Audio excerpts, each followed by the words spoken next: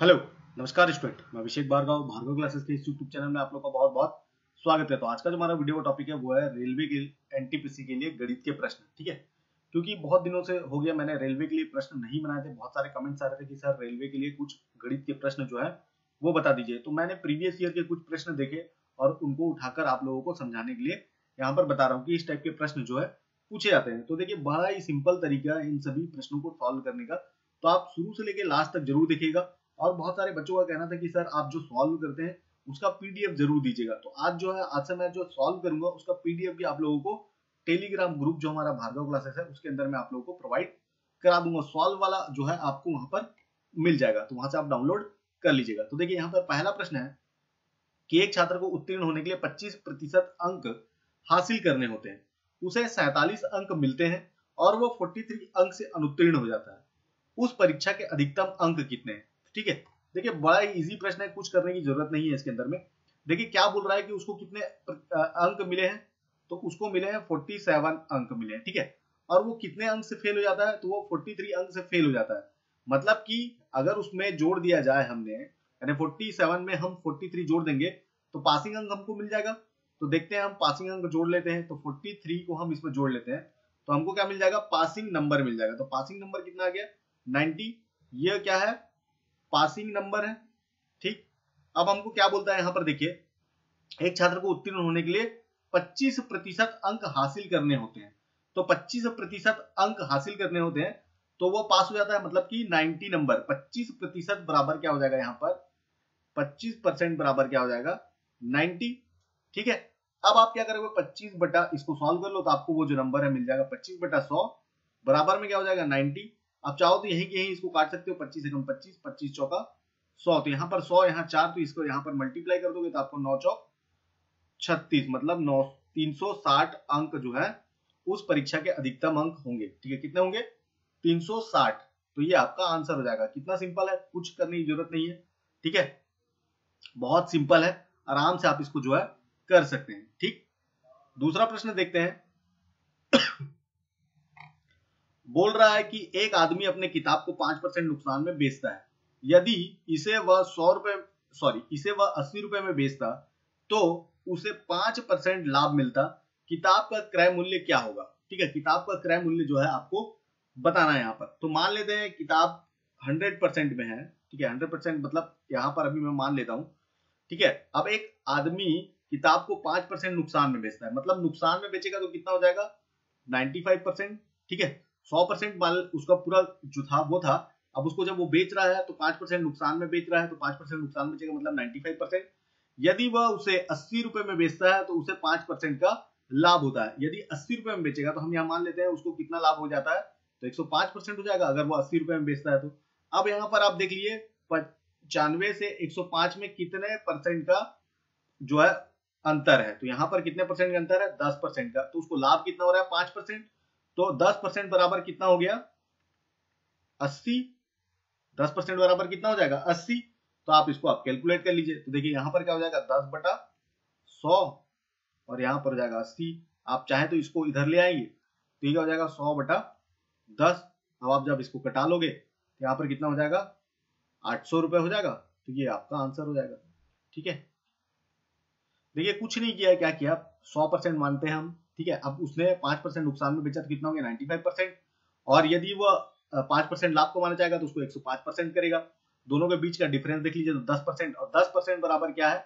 अस्सी रुपए तो आप उसका जो है, क्रय मूल्य जो है किताब का निकाल सकते हैं। ठीक है?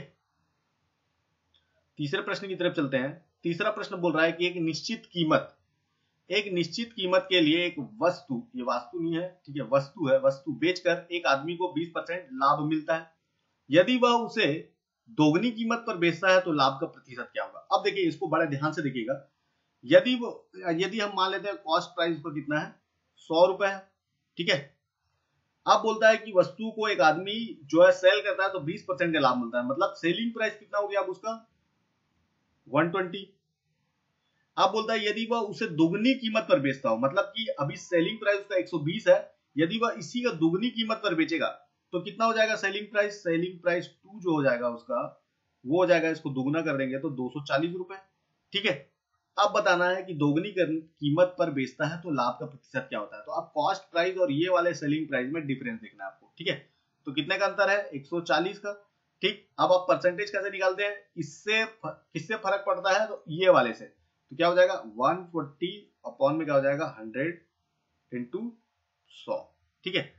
तो अब जब इसका परसेंटेज निकालोगे तो कितना हो जाएगा ये? 140 परसेंट ये इसका सही आंसर होगा, ठीक है? तो लाभ का प्रतिशत क्या होगा? 140 परसेंट ठीक? इसके बाद चौथे प्रश्न की तरफ़ चलते हैं। चौथा प्रश्न बोल रहा है, यदि एक वृत्त की त्रिज्या में 31 परसेंट की वृद्धि हो जाती है तो उसका क्षेत्रफल कितने प्रतिशत से सॉरी कितने प्रतिशत से बढ़ जाएगा ये? बढ़ जाएगा, ठीक है? सुधार लीजिएगा यहाँ पर से बढ़ जाएगा, ठीक? तो देखिए, त्रिज्या जो है, वो है अभी हंड्रेड ठीक है? और एरिया एरिया क्या होता है? पाई आर स्क्वायर मतलब आर का जो है स्क्वायर हो जाता है। तो अभी अगर यहाँ पर एरिया जो है, वो सौ है, और पाई आर स्क्वायर में स्क्वायर कर देता हूँ मैं इसको हंड्रेड का तो ये कितना हो जाएगा? अभी यहाँ पर हो जाएगा ये ठीक? और अगर इसमें, इस त्रिज्या में 31 परसेंट की वृद्धि हो जाती है मतलब कि ये कितना हो जाएगा? 31 परसेंट की वृद्धि की बात 131 तो एरिया कितना हो जाएगा? 131 का स्क्वायर कर दोगे आप। तो 131 का स्क्वायर जब आप निकालोगे तो आपको मिलेगा 17161 ठीक है? तो उसका क्षेत्रफल कितने प्रतिशत बढ़ जाएगा? तो क्षेत्रफल कितने प्रतिशत बढ़ जाएगा यहाँ पर आप देख सकते हैं। इन दोनों में आप डिफरेंस निकालेंगे तो कितना निकलेगा? सात हज़ार एक सौ इकसठ। और आपको क्या निकालना है? कितने प्रतिशत बढ़ जाएगा? तो सात हज़ार एक सौ इकसठ। किससे बढ़ रहा है? तो इस दस हज़ार वाले से बढ़ रहा है मतलब शुरू वाले से तो दस हज़ार। अब इंटू में क्या हो जाएगा? परसेंटेज निकालना है तो सौ। इसको इसको कटा दो आप। से, इसको कटा दो तो आपका आ जाएगा seventy one point six one क्या हो जाएगा? परसेंट ठीक है? कितना हो जाएगा? इतना। ठीक? अगर आपको इसको सिंपल वे में निकालना है, यदि एक त्रिज्या की, यदि एक वृत्त की त्रिज्या इकतीस परसेंट की वृद्धि हो जाती है तो उसका क्षेत्रफल में कितने प्रतिशत बढ़ जाएगा? इसको एक फॉर्मूला आता है। आपको मालूम होगा कॉम्बिनेशन वाला। A plus B plus A into B upon hundred इससे भी आप इसको सॉल्व कर सकते हो। कैसे करोगे? तो ए प्लस बी मतलब thirty one plus thirty one plus क्या हो जाएगा? Thirty one into thirty one और अपॉन में क्या हो जाएगा? हंड्रेड आप इससे भी इसको जो है सॉल्व कर सकते हो। देखिए, यहाँ पर क्या हो जाएगा? सिक्सटी टू फिर प्लस में क्या हो जाएगा? यहाँ पर nine six one upon hundred ठीक? तो हो जाएगा सिक्सटी टू प्लस क्या हो जाएगा? नाइन पॉइंट सिक्स वन जब आप इसको जोड़ोगे तो कितना जाएगा? Seventy one point six one ठीक है? तो ये इसका आंसर इस टाइप से भी आप निकाल सकते हो, ठीक? नेक्स्ट प्रश्न है पांचवा। किसी संख्या का 30 परसेंट, उसी संख्या के 25 परसेंट से 27 अधिक है। किसी संख्या का 30 परसेंट, उसी संख्या के 25 परसेंट से 27 अधिक है। संख्या का मान क्या होगा? देखिए, बहुत सिंपल क्वेश्चन है। 30 percent minus twenty percent equal to क्या बोल रहा है? 27 ठीक है? तो यहाँ पर क्या आ गया? 5 percent is equal to twenty ठीक है, हो जाएगा 5 by hundred is equal to twenty आप इसको इस साइड ले आओगे तो क्या हो जाएगा? हंड्रेड अपॉन फाइव ये इससे इसको कटा दो। तो ये दो बार में कट जाएगा। अब आप इसका मल्टीप्लाई कर सकते हो। तो आप मल्टीप्लाई करोगे तो आपका आ जाएगा फाइव फोर्टी जो है इसका आंसर। ठीक? नेक्स्ट क्वेश्चन की तरफ़ चलते हैं। छठवा क्वेश्चन है। यदि परीक्षा में पैंसठ परसेंट विद्यार्थी इतिहास में उत्तीर्ण हुए और 55 परसेंट विद्यार्थी हिंदी में उत्तीर्ण हुए, यदि 5 परसेंट दोनों विषय में अनुत्तीर्ण हुए तो दोनों विषय में उत्तीर्ण होने वाले विद्यार्थी के प्रतिशत क्या है? देखिए, इसको आप एक वेन डायग्राम के मेथड से बना सकते हो। वेन डायग्राम का मेथड मतलब सिंपल करने के लिए आप क्या करो? एक सर्कल लो, इस सर्कल में दूसरे सर्कल को ऐड कर दो, ठीक है? अब यहाँ पर जो है 65 परसेंट जो है, वो किसमें? इतिहास में, ठीक है? इस वाले सर्कल में 65 परसेंट जो है, इतिहास में उत्तीर्ण हुए। इस वाले सर्कल में देखते हैं तो 55 परसेंट जो है 55 परसेंट जो है, वो किसमें है? 55 हिंदी में है, ठीक है? तो ये हो जाएगा हिंदी। अब बोलता है दोनों जो है, पाँच परसेंट विषय में अनुत्तीर्ण हुए अभी यहाँ पर देखते हैं 65 परसेंट अगर इतिहास में पास होते हैं तो फेल कितने होते हैं? मतलब 100 में 65 अगर पास होते हैं तो 35 परसेंट जो है, वो क्या हो जाते हैं? फेल हो जाते हैं। थर्टी फाइव परसेंट जो है, फेल हो जाते हैं। तो यहाँ पर आप थर्टी फाइव परसेंट फेल में लिख सकते हैं। यहाँ पर कितना हो जाएगा? यदि हिंदी में पास हो जाते हैं तो फोर्टी फाइव परसेंट क्या हो जाते हैं? फेल हो जाते हैं। क्योंकि हमको दोनों में पाँच परसेंट जो है, अनुत्तीर्ण वाला है। तो ये जो है हिस्सा ये दोनों में पाँच परसेंट जो है अनुत्तीर्ण है, ठीक है? अब हमारे कितने बचे हैं यहाँ पर देखिए, पैंतीस परसेंट जो है वो फेल है, यहाँ पर पैंतालीस परसेंट जो है वो फेल है, लेकिन पाँच परसेंट दोनों मिलाकर है तो यहाँ पर कितना हो जाएगा? ये पाँच परसेंट आप इसमें निकाल लो तो ये हो जाएगा थर्टी परसेंट और ये कितना हो जाएगा? फोर्टी परसेंट, ठीक है? क्योंकि हमको फेल वाले निकालने हैं। अब दोनों विषय में अनुत्तीर्ण, दोनों विषय में अनुत्तीर्ण होने वाले विद्यार्थियों का प्रतिशत क्या होगा?